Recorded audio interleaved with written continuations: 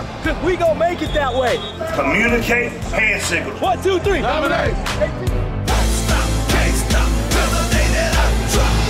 Today we are live from Ben Hill Griffin Stadium at Florida Field as the Florida Gators meet the Tennessee Volunteers in this Eastern Division rivalry.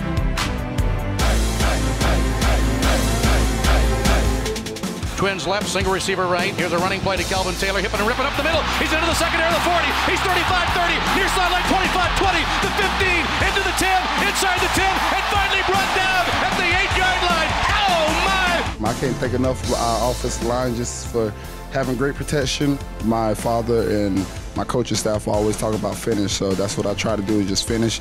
And um, after um, every run, just finish and it paid off for me tonight, and I'm just very thankful and humble. And the handoff to Taylor again, trying to run to the right, cutting up near the goal line. He's in! Touchdown! Taylor made! Touchdown, Gators! It's fourth down and three for the Gators. A big gamble here. Guys didn't quit, didn't get up, give up. Everybody stayed together and just showed how much uh, we can do when we stick together and believe. Grier under center, on play action, drops back, rolls, throws underneath, got the tight end McGee. He makes the catch, turns the corner, first down, crossing the 50 yard line, out of bounds on the Tennessee sideline. That'll make you like Jim McElwain, Gators. We fought it out to the end. Uh, you know, we told uh, ourselves not to get down. Uh, we just fought for each other, and you know, things played out well in the end. Dobbs gets the ball off and hands it now to Hurd, and Hurd is hit and dropped back at the six-yard line.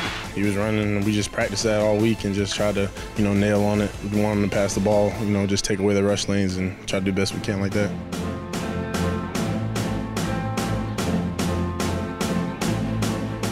Gang tackling, you know, all 11 has to the ball on every play. Make the ref think we got 12 or 13 out there, and that's just the style of ball we play.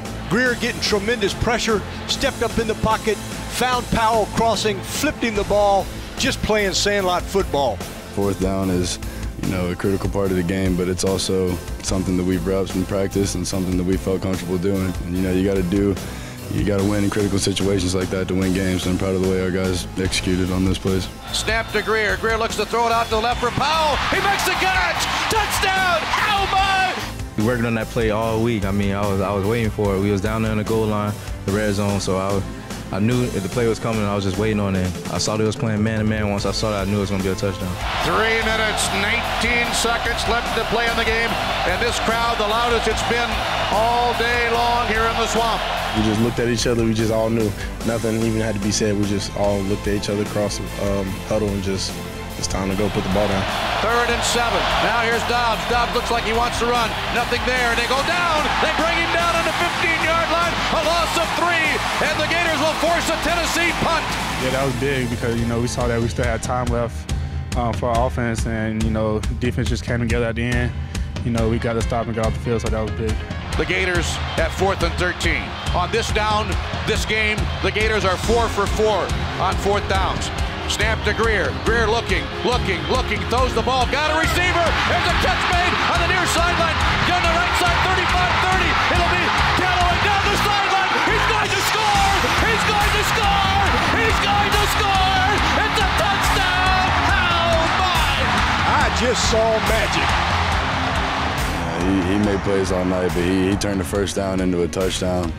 Um, made a great play, and really proud of his effort on that. And, you know, sometimes big players just make big plays in big games like that. That was just awesome. The crowd got into it. I mean, they were into it the whole day, but just the whole thing was awesome. I mean, you can't really script a better ending. Wide right, Gators win the game. How my! One for the ages.